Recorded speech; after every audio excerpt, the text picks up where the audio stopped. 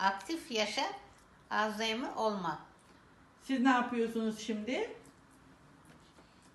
Makreme mi Makrame örüyorsunuz? örüyorum. Ne güzel. Kolay gelsin. Bunlar da diğer yaptıklarım. Ayşe Hanım, Ayşegül.